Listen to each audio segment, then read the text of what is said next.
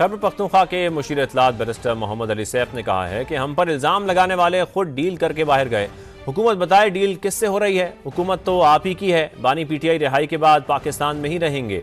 Barrister Mohammad Ali Saif का बुशा बीबी की रिहाई डील का नतीजा करार देने पर सख्त रद्दमल सामने आया।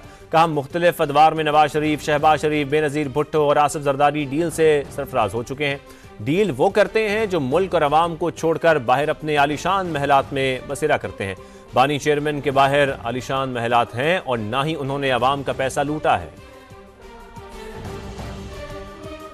पीआईए पर मजीद काम करने का इरादा है। कोशिश है पाकिस्तान को एक अच्छी एयरलाइन दे सकें।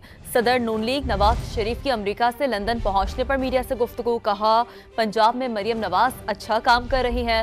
हुकूमत की मुस्बत पॉलिसियों से पाकिस्तान ट्रैक पर वापस आ रहा है। मीशत में बेहतरी और महँगाई कम हो रही है।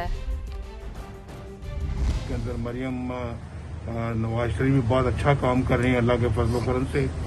उनको दिन रात बस एक ही उनका मामला होता है कि किसी न किसी तरीके से पाकिस्तान के जो गरीब लोग हैं, वो आसान, आसानी के साथ ज़िंदगी गुजार सके आई की बात की थी, अब इंशाल्लाह उसको ऊपर मजीद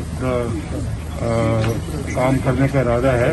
मुल्क को एक अच्छी एयरलाइन